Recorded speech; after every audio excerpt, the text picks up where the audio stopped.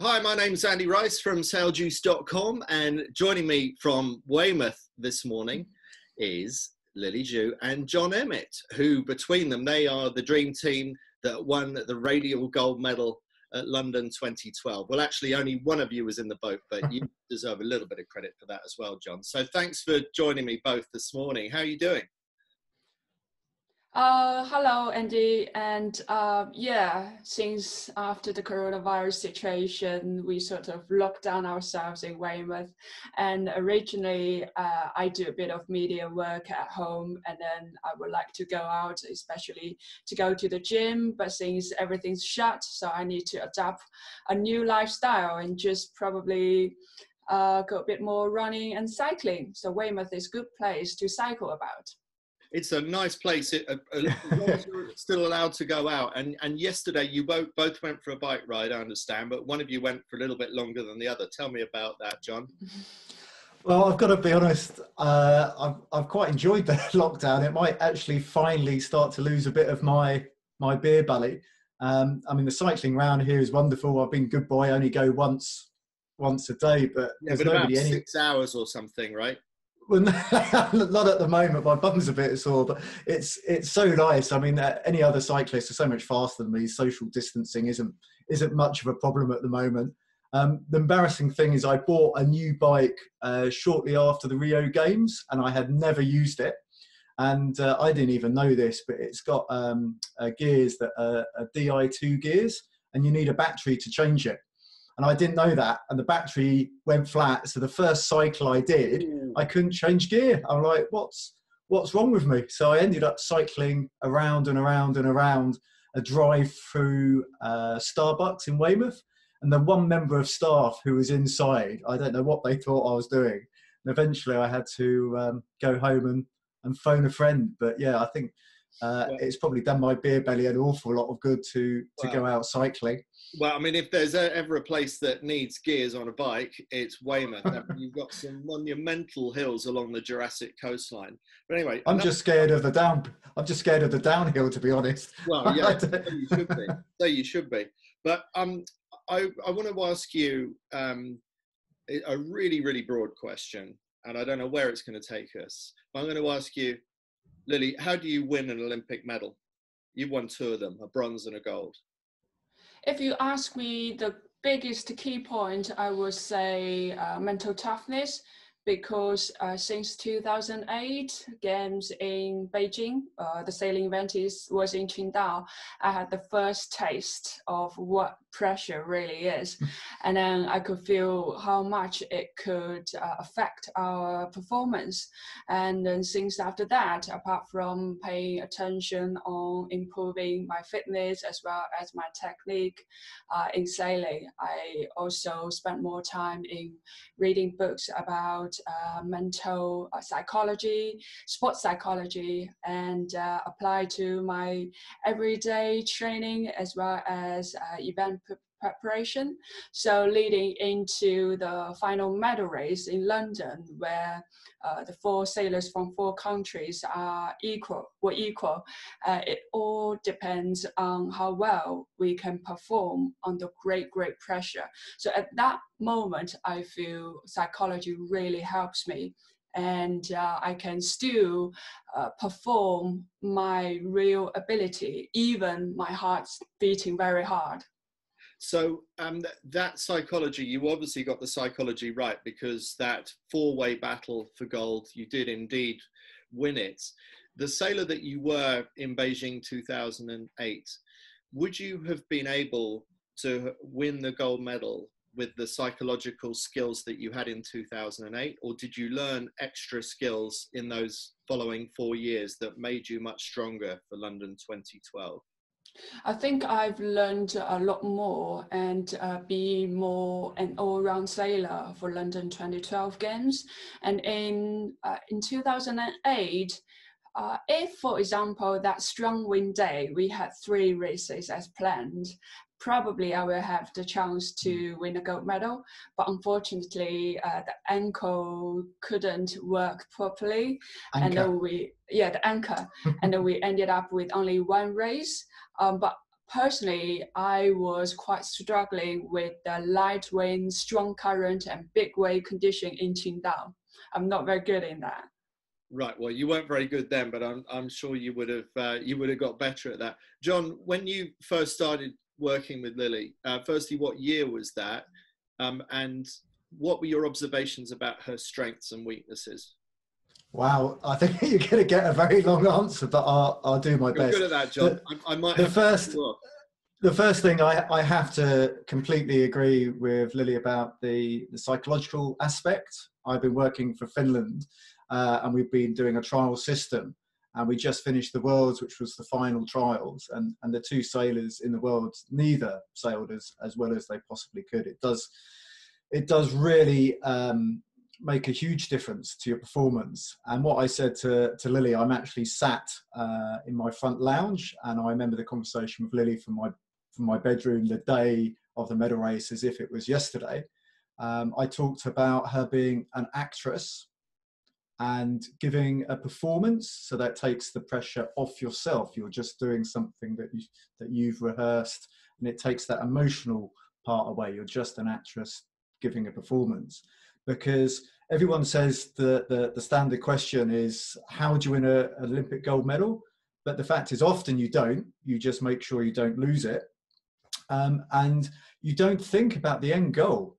Everything is I'm not fit enough. I need to get fitter. I'm not good enough in light winds. I need to practice that more.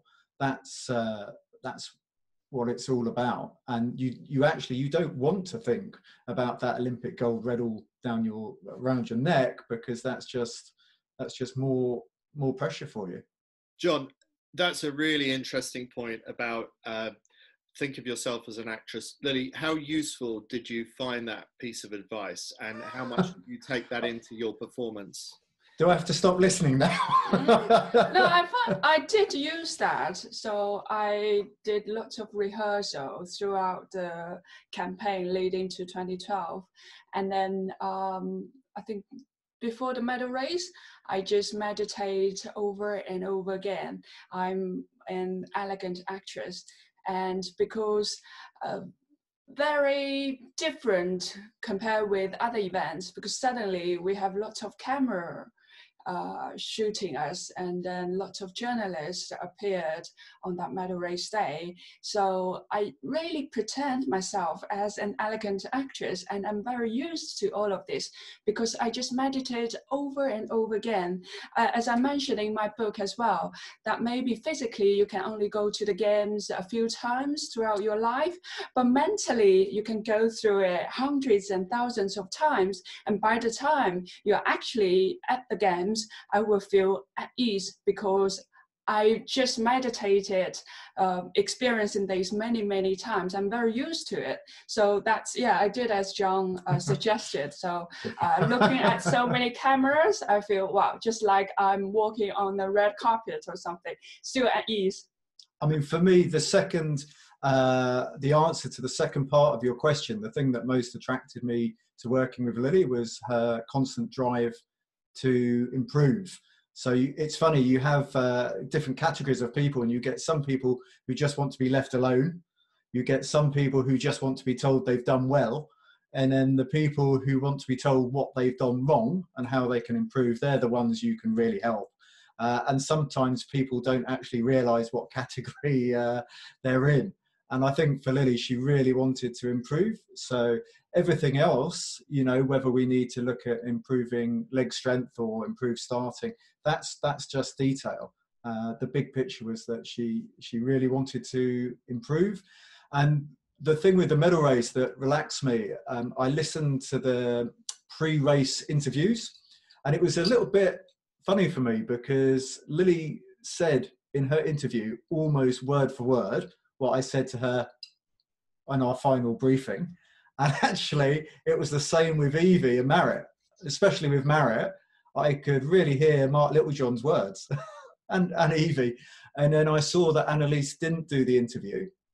And um, I, that's, that's when I felt a bit more confident for, for Lily. Because Annalise is a fantastic sailor. She was easily the fastest upwind in that wind range. In fact, if the races had been the other way around and the women had started don't listen, Lily. If the women had started when the men started, when it was a bit windier, you know, I think Annalise probably would have been walking way with a medal. And she's just jumped uh, back into the radial class and at the worlds straight to the front of the fleet. Not only fast, but really smart. But yeah, that interview uh, before the race even started, that that told me a huge amount. But Annalise not doing an interview, why did that give you confidence? I, I was just reading the the sailors' uh, mental state at that at that time. You know, Lily's approach was exactly what we talked about. She said, I mean, it's obviously Lily's own words that you know she wanted to to do it all for for joy. Um, I, I said, you know, go out, work hard, have fun. Anyone I've ever coached, I, I say that a lot uh, because it's important. You've got to enjoy the, the journey. And I still have the, the email I sent to her on the final day. I think you'll probably be surprised just how short and concise the information is when we get to that stage because we've done all the hard work. Jon, uh, you've obviously been very complimentary about everything that Lily um, could do, and you've highlighted perhaps one of the most important things Lily's uh, drive to always improve on any weakness. What for you were the biggest technical weaknesses that you needed to address when you started working with Lily? I felt I felt a little bit sad that she hadn't had a a lot more time with uh, with a sort of specific laser coach before, because as an incredibly talented sailor, I, I couldn't believe what people had never told her. So one of the big examples when sailing against her in uh, Dongshan, she came into the uh, windward mark on port uh, to do a tack and bear away, and she didn't let her kicker off before doing the tack. And I'm sailing. I nearly ended up in the boat with her because she couldn't uh, couldn't bear away because the kicker was still hard on, and all these little things. It's like no nobody nobody ever told you that. All oh, right, okay. Um, so yeah, I felt a bit sad. I mean, you, you asked a very broad question earlier because I I sort of started working with Lily in 2010. I met her up in Largs. Uh, she obviously had severe back problems. I explained to her what I was going to help her with the with the Pilates, and then the next thing I know, I've got an email. The leaders have taken me back to China. So I spent a month twiddling my thumbs in Weymouth, and I still don't quite know why I ever worked for China again. Because if anyone did that to me now, you know, I, I wouldn't work for them again. So in 2011, I thought, you know, not not going to be tricked or, or whatever this time. I did half half the work with Swiss, which I worked for for 2008, and then I did the Olympic test for China. Um, so if China were pulled out of that, then I would still have been uh, working because I, am so lucky, Andy. I love being on the water every day, and it was a bit torture not to be able to go out in 2011 because my sailor was uh, I don't know, 10,000 kilometers away. Yeah. Uh, Lily, you've been able to observe uh, two different uh, cultures, different sides of the world, and how they go about preparing for an Olympic Games. Uh, what do you think are the, the, the good sides of working in China and the Chinese approach, and what are the good sides of the British approach? Mm-hmm. I could see uh, how different those two countries or, or the training or development systems are.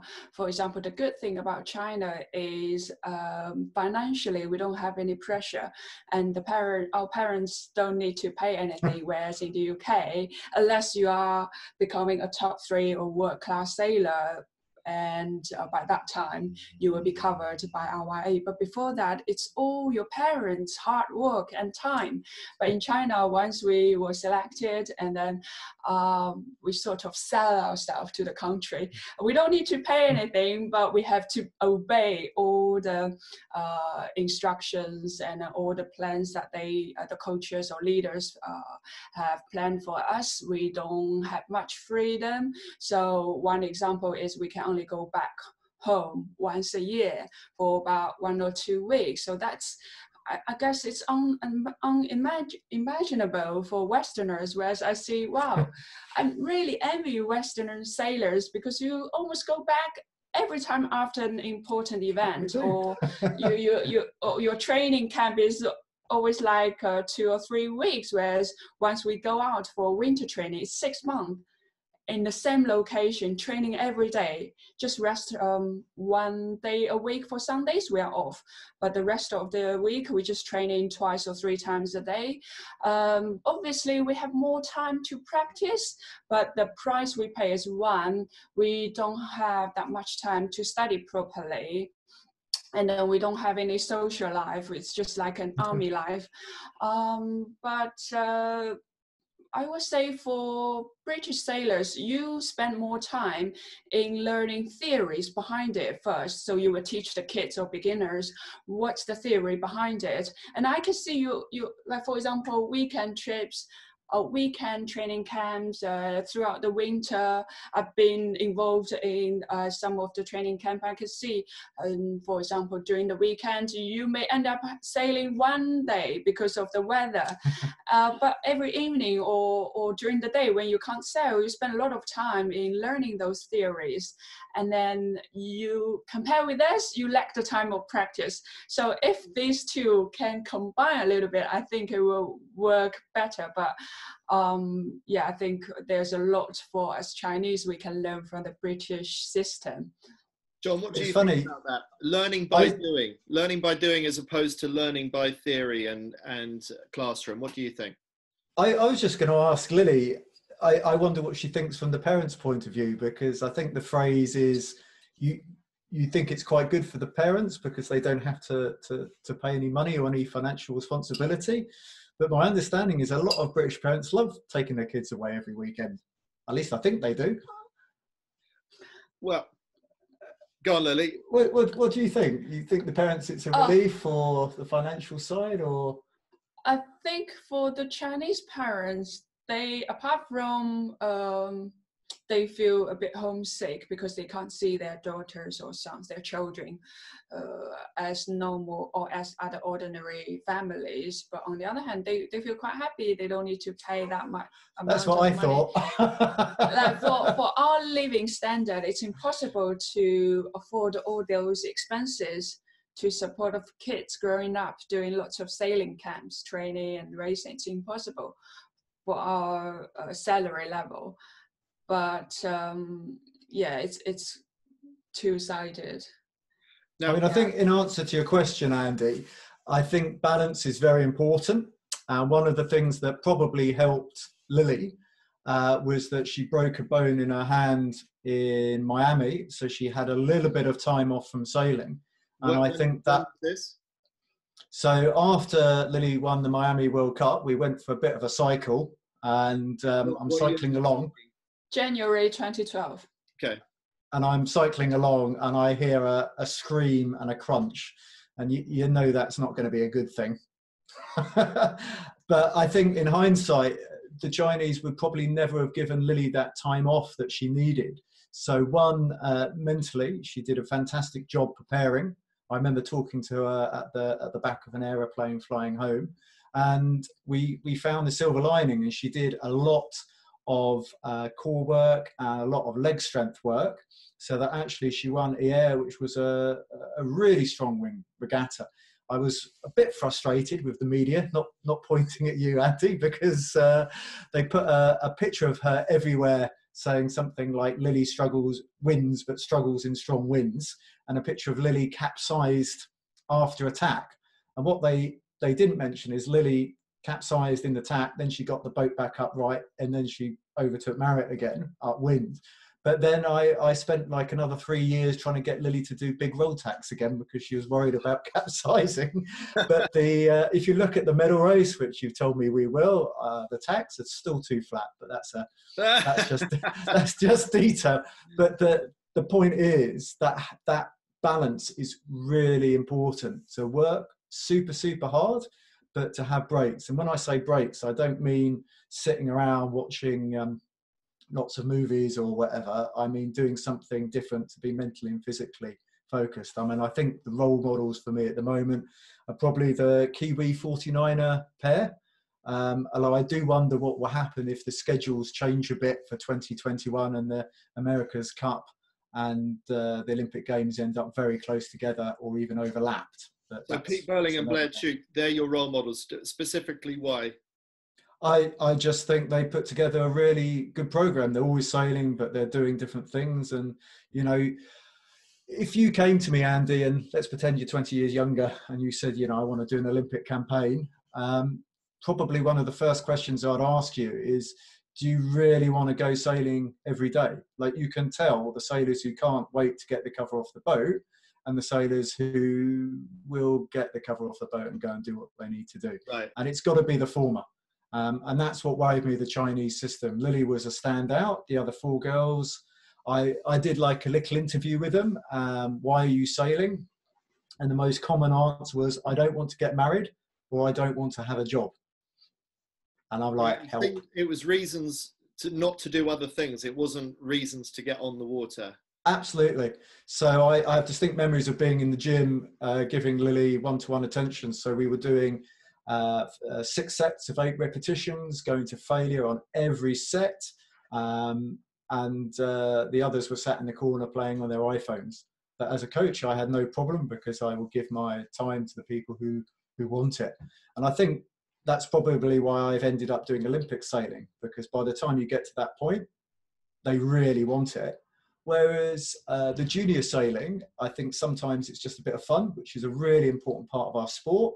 But probably uh, an 18 year old girl uh, would do a much better job than me because the sailors would prefer to to see her every single day.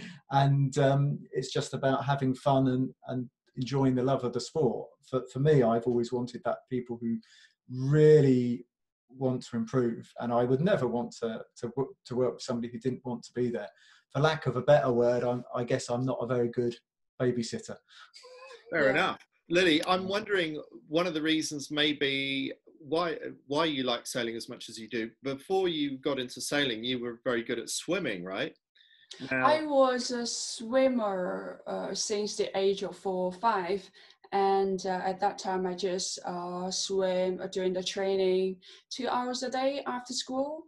Um, but I won't say I really love or enjoy swimming. It's just uh, an exercise to keep me healthy. And uh, I have the kind of symptom of couldn't stop. You can see Lily in a boat part because she's always casting spells on people. so, I, I yeah. just I just have to say one thing because in the English language it's not always clear when Lee said that she swam every day, she swam every day, every single day, no rest days. It was like um, we had the conversation about rest days and how important they, they were, and it was like a language barrier. Right. So she swam every single day. And two rest days a year for during the Chinese Spring Festival only. Oh wow! Wow. Yeah, yeah. Amazing. Like sailing is actually probably slightly better because we have one rest day every week. so even then, what standard were you were you swimming? Um, uh, just um, in the district team of Shanghai, and then I've competed uh, the Shanghai children's championship, etc. I haven't been to the national level, uh, but it was actually during a training camp to try to be selected by the Shanghai swimming team that I was spotted by the Optimist coach of Shanghai sailing team. Right. Okay. And when you yeah. made that switch from swimming to sailing, how um, how long did it take for you to fall in love with sailing? I think the moment I jumped onto the boat, I just feel a lot of fun and then a lot of freedom. And especially for me, um, I feel lots of limitations on land as well as my hearing uh, disability. Uh, when, but once on the boat, I just feel uh, I'm equal to everybody else. And um, I, I, I, can't help uh, making comparison with swimming because that's a swimming pool. You just swim to and back, and then I feel quite boring. So that's why I feel compared with swimming, I much prefer sailing. And then it was about two weeks. In two weeks' time, after our training camp, I was selected, but then it was that evening me my parents and my swimming coaches talked overnight to make this very difficult decision whether to continue my normal life keep studying and then uh, doing swimming exercise or join the sailing team which means i will be away from home Right, right. And I'm wondering if once you've been through a sport like swimming, which uh, does seem very monotonous, I mean, I actually enjoy swimming, but I totally know what you mean about looking at the bottom of the pool the whole time. Um, once you've experienced that kind of monotony and uh, repetition or repetitiveness, um, I guess there's no excuse to be bored in sailing. Sailing is always different, isn't it? Yeah, every day is different, and then the weather, the wind, the, the water. I can't see that a, a, two races are exactly the same never. So every day we need to use our observer, observation as well as thinking trying to work out what's the best route as well as uh, we need to have boat handling work well have a good speed. So uh, some people quite often ask me, Lily, will you feel lonely on a single-handed boat? I said, I'll never feel lonely because my mind is just busy working out lots of uh, things. So I really enjoy every second on the water on a sailboat, and the time passed much much quicker than in a swimming pool. Jon, coming back to this period of um, making the best of a bad job uh, when Lily had this injury, uh, what more or less six months before the Olympic Games for London 2012. Um, looking back on it, did, did she arrive at the games as a better sailor because of that period of injury compared if, with if she hadn't had that injury at all? I, I was just going to go back to uh, earlier with the rest days because I had an experience that I've never had before in my life. So I actually caught Lily she's not going to thank me for telling you this, but I caught her on a rest day training. I've never had that with any other sailor. So I go down to the gym to see what weights they have, um, planning the, the next day, and she's there on a stationary bike, full of sweat, completely out of breath, must have been 170 beats a minute. And I'm like, this is your rest day. And it's so important that you rest so you don't get ill or injured. And I, ironically, about three days later, she got the flu and then she, she had to have a week off. Um, so the whole idea of a coach is you you sort of say things so sailors don't have to to learn the the hard way. Um, your actual question, I, I don't want to give you one one word answer, but but yes, you know she was definitely a better sailor for for having that period of time off. And and you were going to ask me the the secret to to winning a gold medal. And I said, I don't think I can tell you because I want to have coaching work for the next 20 years, but I've changed my mind. So what you need to do. Here we go. I'm going to tell you, you have to break this bone, okay? um, because I've got it. Uh, I've got the hammer ready for Tula. Uh, I need to get it. I need to get it perfectly right because uh, I don't know uh, exactly when the games is going to be. But Paul Goodison uh, broke exactly the same bone in his hand before winning uh, in Beijing. I spent a lot of time holding Lily's hand, trying to remove the scar tissue. Literally breaking the scar tissue down. Uh, and yeah, I know that uh, Nick Thompson uh, has also broken that bone. Uh, the difference being when Paul Goodison broke his bone, they just put pins in. So think uh, like cocktail sticks, and then they pull them out after six weeks. How, yeah. how did Paul, uh, Lily, Lily had her screws and plates. Sorry? Sorry, how did Paul break his? Was it a cycling accident? Or cycling. and Nick Thompson as well. I thought possibly Nick was actually hitting a punch bag, which is an even funnier story. Oh, maybe, okay. maybe he was copying Goody. I, I, I don't know. I, I did an interview with him and I tried to get some pictures of him to go with the interview. So uh, the pictures were in the gym, but he couldn't do anything. So there's a picture of him on the chest press like this. But if you had scrolled out, you would see there's just a bar, no weights, and he's he's not lifting anything but that was a long time. Sorry, I interrupted you. You were about to say um, Goody had the cocktail stick treatment. Lily, uh, with with your hand, what what was the what was the repair? How was that made? Uh, they put a pin and screw, six screws, and then um, a plate. A plate. Plate. Yeah, yeah. and then uh, in a year's time, I had to do another operation to remove it. The difference is, Goody doesn't need to do a second no. operation. You just pull that Oh, yeah. I mean, I, we, we were literally in Miami, which is world famous for hand surgeries. That's where all the American baseball players go. And I was all ready for uh, Lily to go and have the surgery there. And uh, I thought, you know, I better call the team leader just so they know what was going on. And then he turned up and, and, and stopped everything. Um, but as I said, in hindsight, that big break for uh, Lily was was probably a good thing, but it shouldn't be like that. So we've got a bit of a break now because of uh, COVID 19. So it's important to keep busy. So Tuula's going to start doing her thesis now. Um, no good just sitting around. Every every cloud has a silver lining.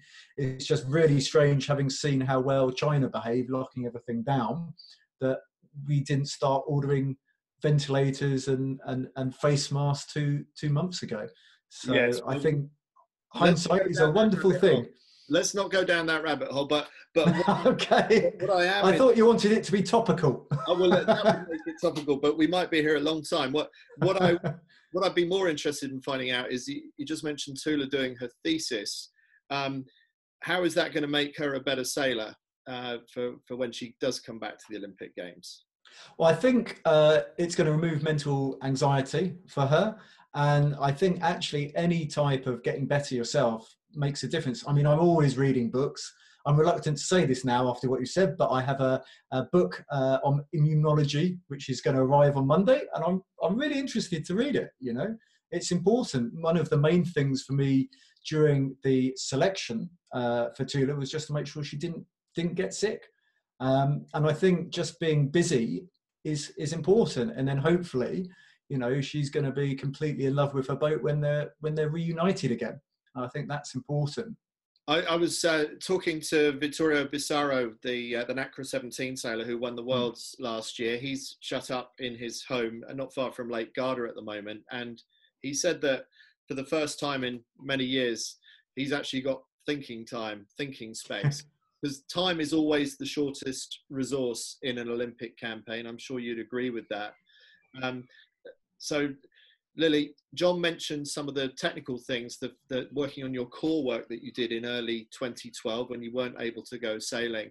Um, what thinking time and uh, sort of re rethinking of your approach to your campaign did you take yeah. Through that time? Mm-hmm.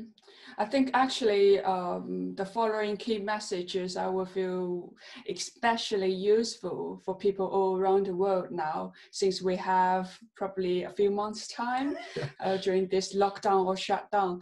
Uh, but I, wouldn't want to deliberately make this happen again, but it's like a forced. yeah, don't uh, don't tell Tuula. Forced rest. no, no. So the the moment when I fell off the bike, the first message in my mind was whether I will be able to do the Olympics because uh, the game's only six months away. So if my hand bone did broke, then I don't know whether it will recover on time. And if it did recover on time, will I have enough time to prepare properly? Because that's the Olympic Games. And uh, I think what I've learned uh, together with Jon is uh, not cry over the split milk. Is that right? Close enough. uh-huh. And then, so um, on one hand, probably there's some negative thoughts as well as worrying concerns, but immediately I've learned to adjust and then to walk out this darkness. I'm thinking, wow, that's already happened. What can I do? So the following day, well, of course, China flew me back to operate in Shanghai.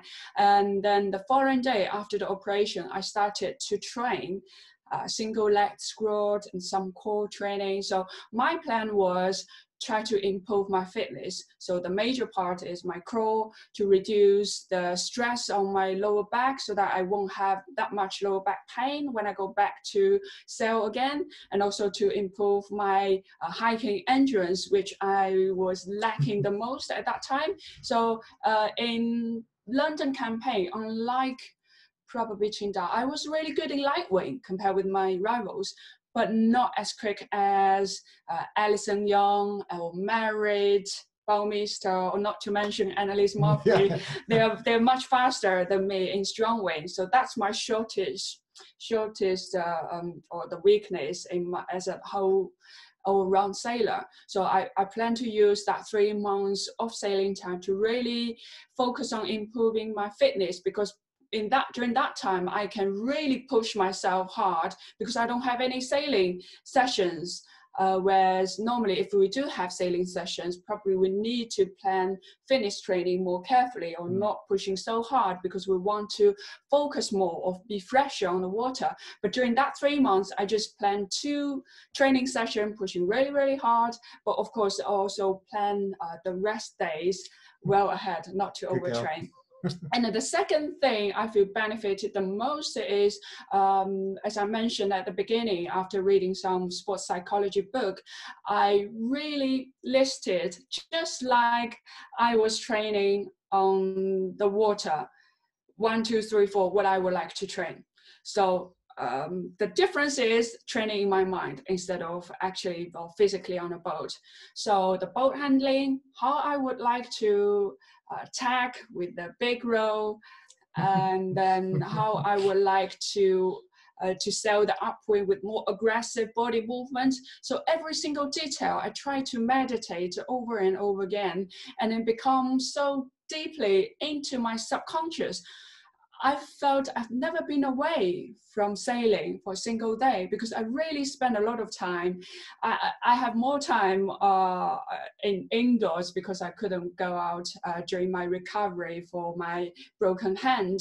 Um, but I used all those um, extra time away from sailing into rehearsal as well as uh, input spend probably a cycle indoor on a stationary bike two to three hours every day i also use that time to meditate instead of i used to watch movie or listen to music i use that to meditate as well because I feel sometimes I need to push really hard on a bike.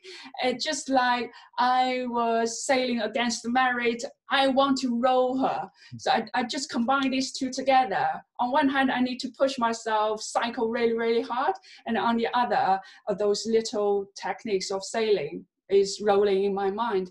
So that's why unexpectedly three months later in Hyères i'm not sure whether that was world cup or not back then uh, it was a mistral week the mm-hmm. strongest event or week ever uh, for Hyères event and uh, i walk away with a gold medal which i found it impossible to believe the, the funny thing she said to me she said to me do you know who's won and i said yes you you've won you you need to go to prize giving now she had no idea. But it, it wasn't uh, at all a secret. We really struggled for the 2016 uh, Olympics.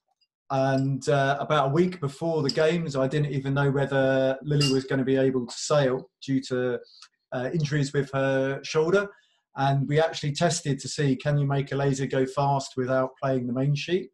I'll give you the secret. The answer is no. Um, so uh, we were really lucky that I managed to find the head doctor for the World Cup, which was also in Brazil.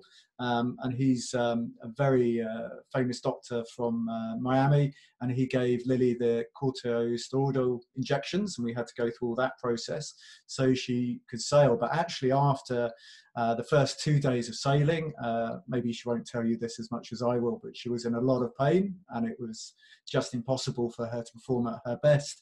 And if we look back at the 2012 campaign, she did have a small amount of shoulder issues uh, every so often, um, and actually having that break then meant that uh, her shoulders were okay for the games.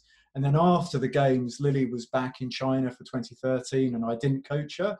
Uh, she was just there really with the Chinese. And the next time I saw her, her, uh, her shoulders were the way they are now. And, you know, she's had two operations and lots of problems because of this. So yeah, that break, it's so important. It's not only the mental thing that Lily's talked about so well, but physically. And I don't know a better way to put it other than nobody thinks about being injured until you're injured. Like we don't drive our car around until we run out of fuel.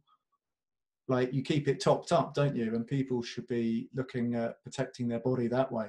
So yeah. the question yeah, we, you, mm. sorry, go on.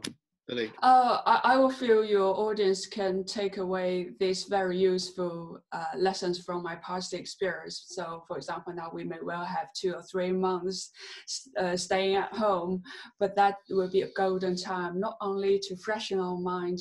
Mm. I believe it's possible to improve us as a sailor, both physically and mentally, as well as techniques. I truly believe the power of psychology or mental toughness. If you do meditation every day, even though you we can't sail now for two three months, when we go back to sail, if we did train or practice in our mind, we can still sail very fluently, just like we've never been away. So really make the most of a single day during this COVID-19 situation. And if you want to know what the main job of an Olympic coach is, that's what it is.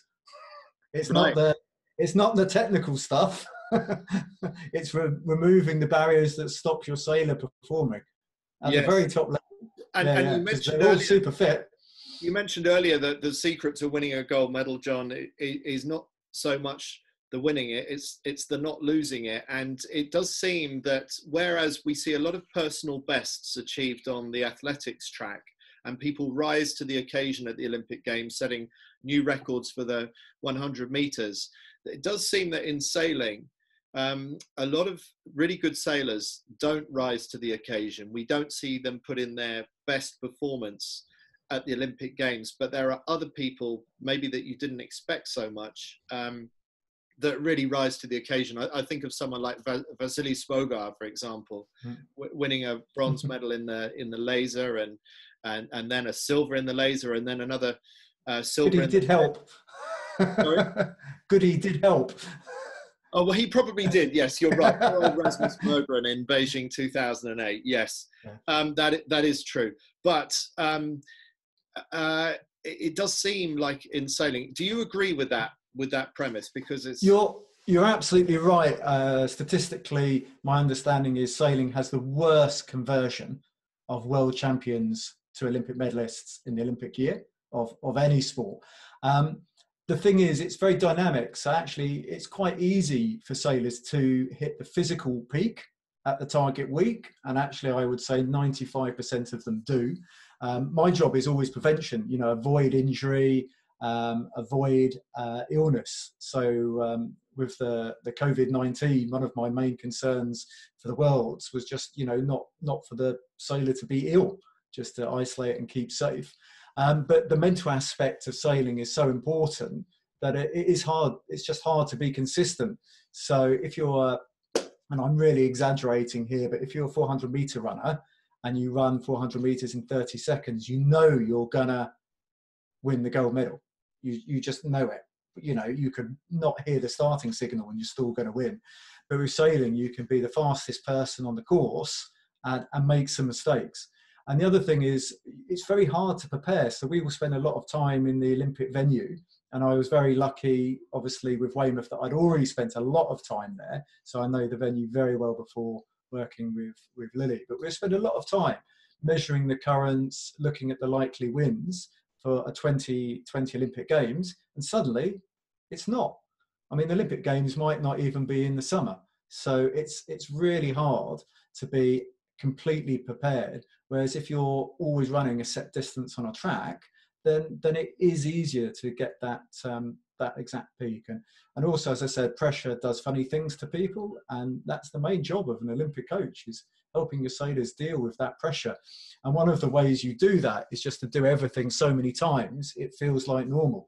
So we will run a lot of coaching regattas and a lot of races at the Olympic venue. So actually to, to race in Weymouth in 18 knots in a southwesterly on this on the Nothe course seems really uh, it's just you know it's what I do every day. I did a lot of match racing with Lily on the medal race course, chasing her around and around and around and around.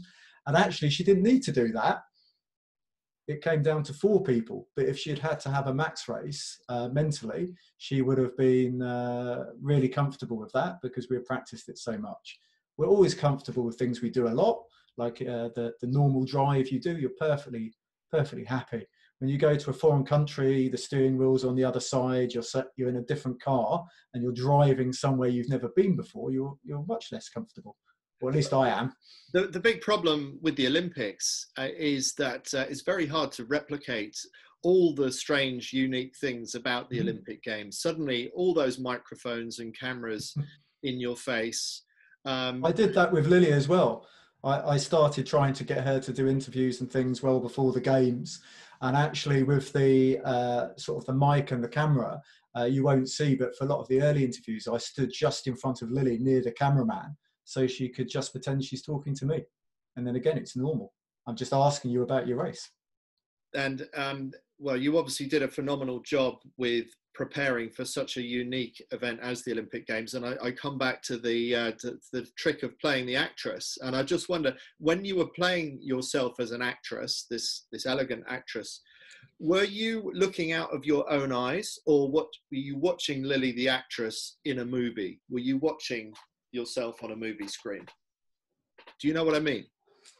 Um, no, I won't watching myself, and I just think I need to focus on what I'm doing and I want to do the best job I can. And those things I have control over, I want to do it really well. And at the same time, I accept all these uh, other influences or the environment, suddenly a lot of cameras surrounding you. Um, I just say to myself, those I, I, have no control over and don't need to worry about. And then just uh, thinking, I, I'm used to this, no problem. and talking about control, only controlling the things that you have control over, um, that's something as sailors we have to learn. That surely is a great lesson for all of us as we go through this pandemic. Uh, it's a lesson for life, every aspect of your life. If you can't control something, why why bother thinking about it? Life's it's so easy to say. It's quite difficult to do for a lot of people. You have to practice what you what you preach. It's like any skill. The more you practice it, the you know, the, the easier it becomes. The only thing is you do need to look backwards and learn from past mistakes. That, that's two two separate things. But yeah, you, you need to focus your energies on where you can make positive changes in your life. That simple. Jon and Lily, there's much more I want to ask you, but I'm going to come back to you in another video where we're going to dig into the detail of what happened in that medal race. And I, I want to put heart rate monitors on both of you as well while we're watching it and see whose heart. is I already told you I hate watching this because somehow I worry there's going to be an alternative ending, uh, which was different to the original. And every, every time I'm I'm coaching, particularly youth sailors, I guess, and it's blowing 30 knots, I, I know I'm going to be watching this video just one more time.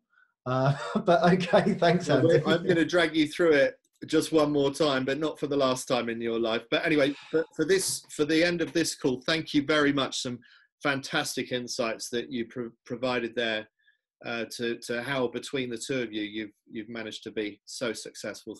So thanks for joining me.